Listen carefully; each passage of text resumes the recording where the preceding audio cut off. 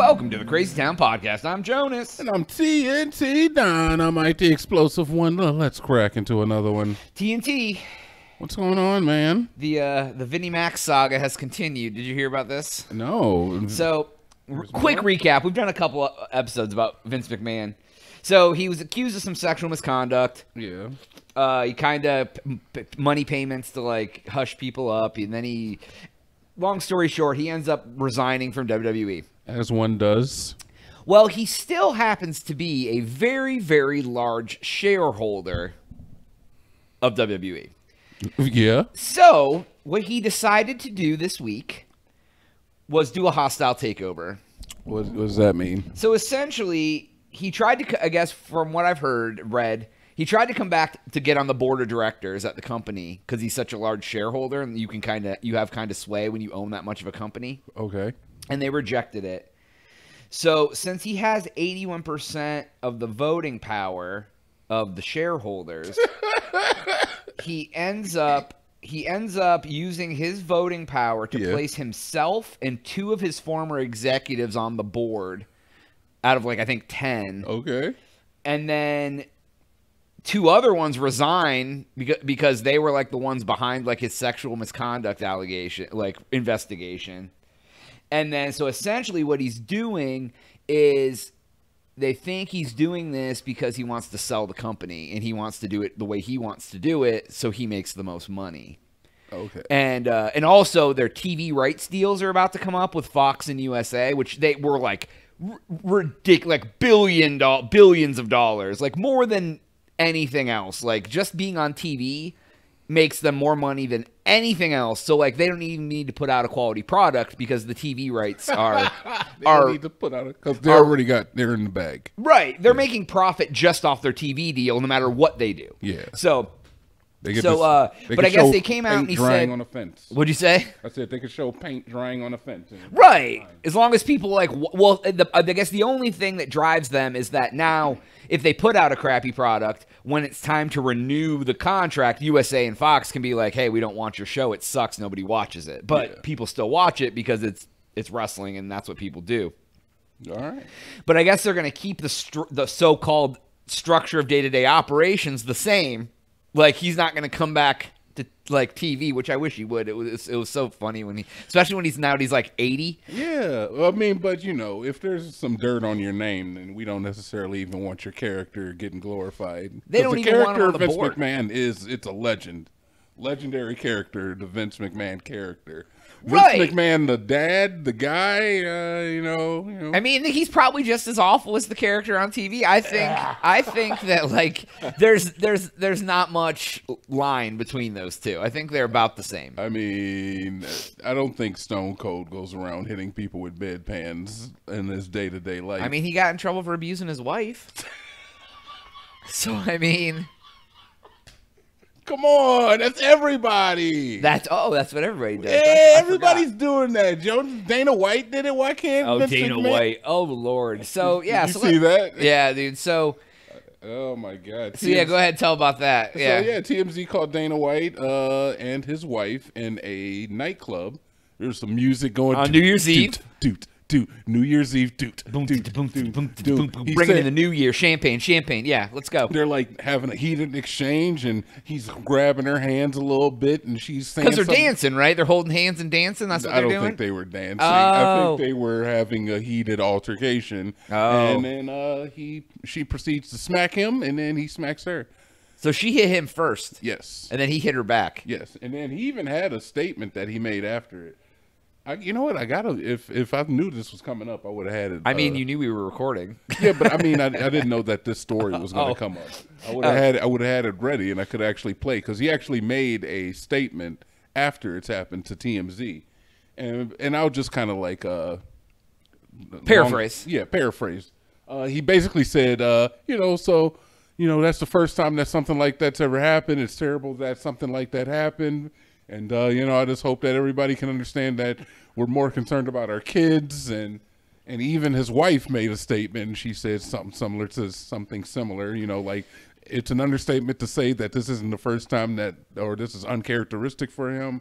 We've been together for 30 years. He's been with his wife since she was, um, not since you were, they've known each other since they were 12, but they've been married for 30 years. Oh wow, so like they're like childhood friends. Yeah, so. he- Okay. he's like, that's my wife, that's my best friend, and, you know, I would never do anything to hurt her. But, Then why would she think it's okay to hit him? okay, so wait, now we're getting into the real Joe. Yeah, yeah, yeah. Me and you, me and you had a little chat about this the other day in passing. So the fact of the matter is, is that I don't think this is going to get blown out of proportion because of the fact that they hit each other. You know, she hit him first, but still, he's the one that had to go on TMZ necessarily. Right. I, I mean, I think I think it's it's not going to become a big thing. They made their statements. They did their thing. It's it's whatever. They're not splitting up. Whatever. My main concern is Okay, well, yeah, what's your aspect here? Because uh, and before I can argue you, iceberg effects. Oh, Because if okay, okay, if you've that never part. hit this man before, yeah, what where in your brain does it do you decide the first time to ever hit him is in public at a nightclub on New Year's Eve? Because and we're not gonna say turn the tables. We're not gonna Right, say right. if I'm she not- was on I'm the not- other foot. I'm not going that route. I mean, like you could say, I mean, that. we can discuss the whole hitting each other, but here's my thing. I, you, you, you, we've all known that couple yeah. who, who like, you see the, it progressively get worse. Like you're like, like one, like you're hanging out with them sometime, and all of a sudden you like you hear like a comment, and you're like, Yeah. oh, the, what the, Yeah. what, okay. Then like, then maybe like another month or two later, you're like, then they're like, just straight up like fighting in the street. Not like with fists, but they're like yelling at each other in public. And then like and then a little later you you know, it might come out that like one of them hit each other or something and they break up whatever. I guess my point is it doesn't go from everything's fine to I'm hitting you in public without without a chain of events that oh, leads to Oh, yeah, that. Yeah, yeah, yeah. So- now they, bo- the both of them said that the alcohol was flowing that night and that you know tensions were high, but still this is an isolated event. Dude, I don't know, man. I- I've been I very agree. drunk and very mad at my partners, and the thought of hitting them has never came to my face ever. I mean, but you would if you could get away with it. Right? Why? I've never hit anyone. Why would I hit a partner? I don't know. I'm just asking. Oh, you're just making sure you want to catch me in a catch me in a tough spot. I just want you to be like. So "Ah, yeah, I probably." feel that this is a way more common occurrence than. Of course, they're both going to say, "I don't know what happened. This is the first time ever." Yeah, yeah. But at home, they probably get all drunked up I mean, and and they probably have fisticuffed more than once. I mean, okay, so here's the thing. It's like a lot of people are looking at it obviously from the fact of so is he hitting her more or is she hitting him more? Sounds like she's hitting him more. Why does it sound like that? How what what in the everything that we said sounds like she's hitting him more? Why would she all of a sudden be the aggressor first tonight? Oh, the so aggressor is the aggressor is the aggressor. That's a good point. So what you're saying is that if he had been hitting the person who hits The most. yes, who's going to let that even well, I don't know because they both hit each other. I but but his could been response like, "Oh, somebody hit me, slap."